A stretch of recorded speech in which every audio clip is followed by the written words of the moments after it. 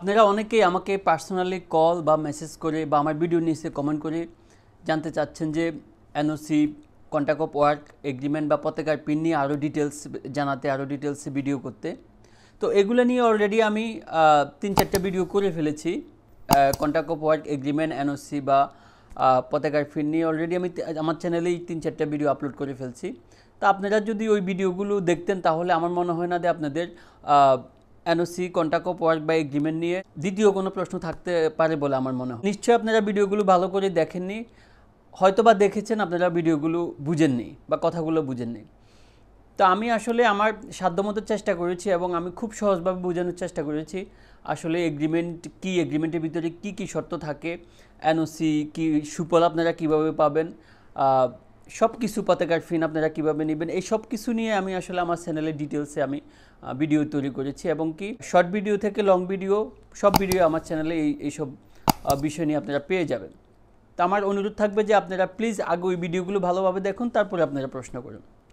এরপরেও কিছু কিছু ভাই আমাকে পার্সোনালি মেসেজ দিয়ে কল করে জানতে চাচ্ছেন যে আপনাদের, আপনারা তো এই আরবাবের কাছে থাকতে চাচ্ছেন না, তাহলে কেন আপনারা পতাকার ফিন নেবেন বা কেন আপনারা এগ্রিমেন্ট করবেন? তারপর হচ্ছে গিয়ে আপনারা, কেউ কেউ বলতেছেন যে আপনারা নতুন এনওসি ল অনুযায়ী কীভাবে এই আরবাবের অনুমতি ছাড়া বা আরবাব না দিলেও আপনারা ট্রান্সফার হবেন বা হতে পারবেন কি না আদৌ? এইসব বিষয় নিয়ে আপনারা প্রশ্ন করছেন বা আউটপাসের সময়সীমা কি বাড়ানো হয়েছে কিনা বা এইসব বিষয় নিয়ে। তো এগুলো নিয়ে আসলে এগুলা অলরেডি এগুলো ডিসকাস করা হয়ে গেছে আমার চ্যানেলে এগুলো নিয়ে নতুন কিছু বলার নেই।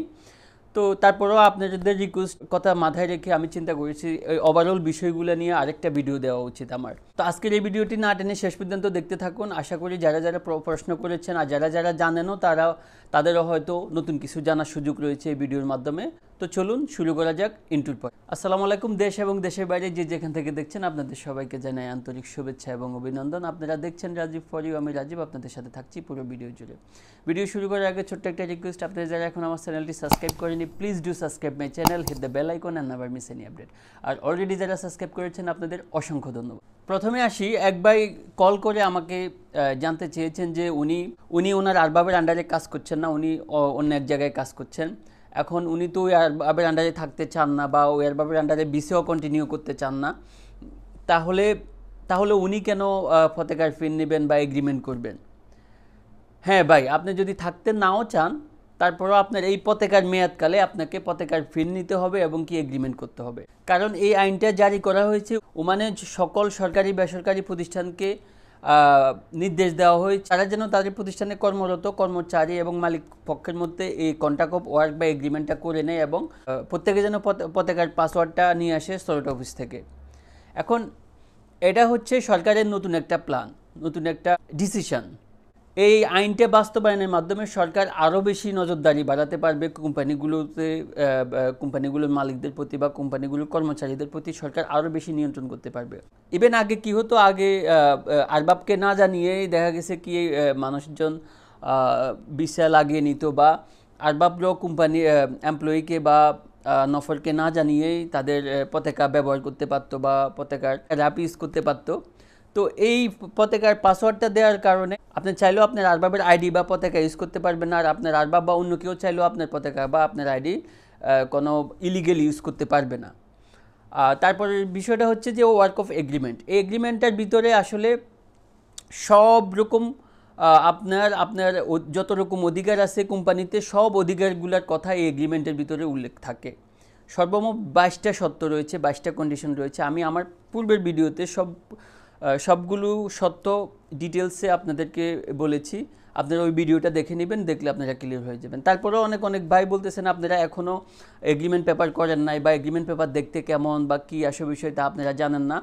তো আমি আসলে সেজন্য আমার এগ্রিমেন্ট পেপারটা আমি আসলে আপনাদেরকে দেখাতে চাই আজকে। যারা করেছেন, ভালো কথা আর যারা এখনও করেননি এগ্রিমেন্ট পেপার দেখতে ঠিক এমন হবে। এই যে ঠিক এরকম হবে। সিক্স পেজের এই এগ্রিমেন্ট পেপারটা ছয় পেজের এই এগ্রিমেন্ট পেপারটা দেখতে ঠিক এমন হবে। তো এই এগ্রিমেন্ট পেপারের ভিতরে আপনাদের বাইশটা সবগুলো সত্য আসলে উল্লেখ করা আছে। আপনাদের স্যালারি কত, আপনাদের মাসে কত দিন ছুটি, আপনাদের লিভ স্যালারি কত, আপনাদের ইমার্জেন্সি ছুটি কয়দিন আপনারা এই কোম্পানিতে চাইলে দুই বছর পরে কি এই কোম্পানিতে আপনাদের কাজ করতে হবে না, আপনারা অন্য কোম্পানিতে চেঞ্জ হতে পারবেন? এই সবগুলো বিষয় কিন্তু এই এগ্রিমেন্টের ভিতরে উল্লেখ আছে। এই এগ্রিমেন্ট পেপারটা হয়ে যাওয়ার পরে এক কপি আপনার কাছে থাকবে, এক কপি আপনার আর বাবার কাছে থাকবে। তারপর আপনারা বলছেন এই এগ্রিমেন্ট পেপারে একটা কপি যখন থাকবে, তখন অনেক ভাই আমাকে আরেকটা কোশ্চেন করেছেন যে, আপনারা এনওসির সুবিধা পাচ্ছেন না বা কীভাবে এনওসির সুবিধা নেবেন আপনারা জানেন না। আপনারা এইভাবে এনওসির সুবিধা নেবেন। কারণ এই এগ্রিমেন্ট পেপারে স্পষ্ট উল্লেখ আছে, যদি কোনো এমপ্লয়ি বা যদি কোনো কর্মচারী কোম্পানিতে কাজ করতে না চায়, তাহলে বর্তমান এগ্রিমেন্ট শেষ হওয়ার এক সপ্তাহ আগে যেন লিখিতভাবে একটা অভিযোগ দেয় তার কোম্পানিকে বা তার আরবাবকে সে আর এই কোম্পানিতে নতুন করে এগ্রিমেন্ট করতে চায় না। তো সে যখন লিখিতভাবে তার আরবাবকে জানাবে, তখন তাদের ভিতরে পার্সোনাল কথাবার্তা হতে পারে যে হ্যাঁ কেন করবে না বা কী জন্য করবে না? সমস্যা সমাধান করার চেষ্টা চলতে পারে। এখন আপনার, তারপরেও যদি আপনার মনের মতো না হয়, তখন আপনি চেঞ্জ করতে পারবেন নির্দ্বিধায়। কারণ এই এগ্রিমেন্ট পেপারে কিন্তু ওই সত্যটা, ওই কন্ডিশনটা বলা আছে যে, কেউ যদি এই এগ্রিমেন্টের মেয়াদ শেষ হওয়ার পরে যদি নতুন এগ্রিমেন্ট করতে না চায়, তাহলে সে যেন লিখিতভাবে তার আরবাবকে এক সপ্তাহ, দশ দিন আগে যেন একটা লিখিত পত্র দেয়। তো সো আপনাদের যখন, আপনারা যারা এখনও এগ্রিমেন্ট করছেন না, বা আপনারা বর্তমান আরবাবের সাথে কন্টিনিউ করবেন না, আবার নতুন ভিসা লাগাবেন না, বা লেবার কার্ড লাগাবেন না, তাদের জন্যও কিন্তু এই এগ্রিমেন্টটা করা মোস্ট ইম্পর্টেন্ট কারণ এই এগ্রিমেন্টটা করলেই কিন্তু আপনার কাছে একটা কপি থাকছে আর আপনার কাছে একটা প্রুফ থাকছে যে এখানে উল্লেখ করা মেনশন করা আছে যে আপনি চাইলেই কি করতে পারছেন।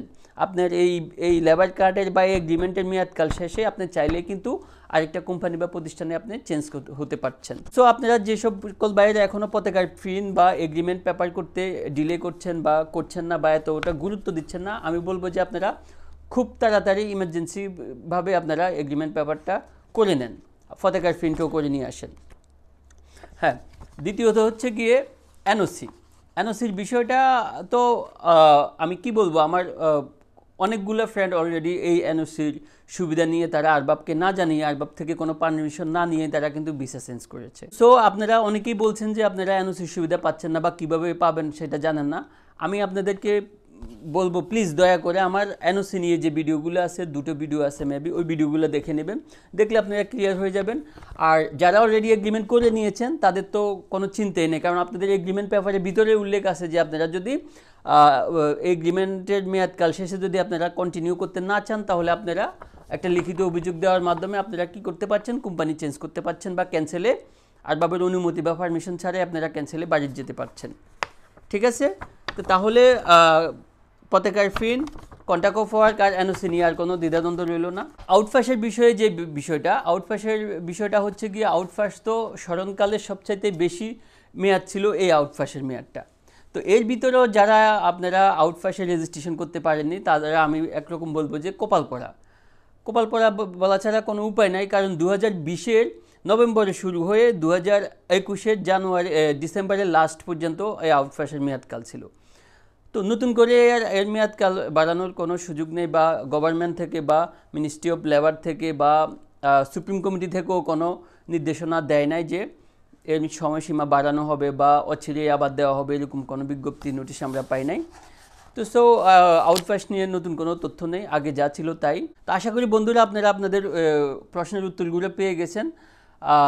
যারা এখনও পতাকার পিন নেন নাই এগ্রিমেন্ট করেন না আমি আপনাদের বিনীতভাবে অনুরোধ করব যে আপনারা খুব শীঘ্রই পতাকার পিন নিয়ে আসুন এবং এগ্রিমেন্টটা করে ফেলুন। কারণ এগ্রিমেন্টটা করে ফেললে একটা এগ্রিমেন্ট পেপার আপনাদের কাছে থাকছে, তখন আপনাদেরকে যদি আর বা বাধাও দেয়, তখন আপনারা এই এগ্রিমেন্টের সত্যটা দেখাতে পারবেন। যে দেখ, এখানে তো এগ্রিমেন্টে তো উল্লেখ আছে যে আমি চাইলেই আমার কোম্পানি আমি চেঞ্জ করতে পারতেছি। সেই জন্য তোকে আমি দশ দিন আগে এগ্রিমেন্ট শেষ হওয়ার দশ দিন বা এক সপ্তাহ আগে তোকে আমি লিখিত একটা পত্র দিলেই হবে। কেউ যদি একান্তই এরপরও যদি আপনারা না বুঝেন, তাহলে আপনাদের আশেপাশে আপনারা যে যে এরিয়াতে আছেন, ওখানে বাঙালি কোনো সনদ অফিসে যাবেন যেখানে বাঙালি কাজ করে বা ওদেরকে বুঝিয়ে বলবেন, ওরা ওখানে আশা করি আপনার এই সমস্যা সমাধান করে দিবে এবং আপনার এই সমস্যা নিয়ে তারা কাজ করবে। আজকের এই ভিডিওটি কেমন লাগল? কমেন্ট বক্সে লিখে জানান। আর অবশ্যই আপনারা কমেন্ট করবেন। কিন্তু আমি আপনাদের কাছে একটা অনুরোধ করব আপনারা আসলে ভিডিওগুলো ভালোভাবে দেখার পরে কমেন্ট করবেন। অযুক্তিক কমেন্ট করবেন না, যুক্তিক কমেন্ট করুন পজিটিভ কমেন্ট করুন। আপনাদের সবার সুস্থতা কামনা করে আজকের মতো আমি এখানে বিদায় নিচ্ছি। দেখা হবে আগামী কোনো পর্বে, আগামী কোনো বিষয় নিয়ে। ততক্ষণ পর্যন্ত ভালো থাকুন। আল্লাহ হাফিজ।